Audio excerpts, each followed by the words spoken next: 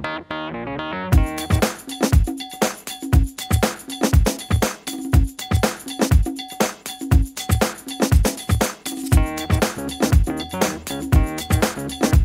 opportunities are real, the opportunities are here and there now.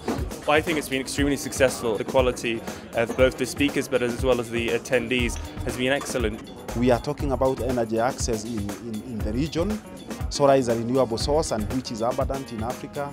And I think tapping it is, is, is essential. This is not aid, this is private sector coming into the, into the area and this is business. So it's about making money and at the same time coming with a bonus of helping the communities. All this is very very valuable. So i am actually very grateful to the solar media. It, it, it has a power in itself as a platform a forum for networking